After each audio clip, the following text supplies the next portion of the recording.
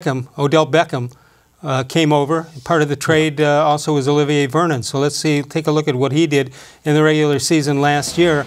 Olivier Vernon, 2019, with uh, 26 tackles, a career low, four tackles for a loss, three and a half sacks, a career low, one fumble forced. He's set to make 15 and a half mil for 2020. None of it is guaranteed. So what does that tell you? That tells me he's probably on his way out. Yeah. I, I don't.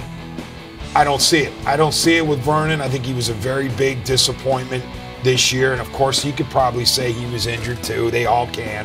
Uh, but this is just not the kind of production you, you signed up for when you made that deal. Let's let's talk about the offensive line. Kevin Zeitler in the 2019 season, 15 games, 991 official offensive snaps, two penalties, three sacks allowed, and 16 quarterback pressures.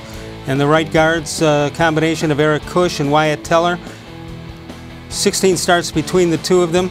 Uh, offensive snaps 436 and 557. Four penalties by Kush, two by uh, Teller.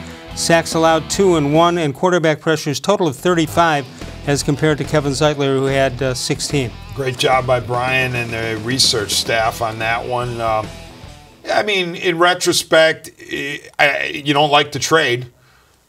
It can be saved, though, and I don't think it's going to be saved. If it is, it's not going to be saved by Vernon. It's going to be saved by Beckham. Exactly. Beckham has to play at an all world level in order to save this trade. There you go.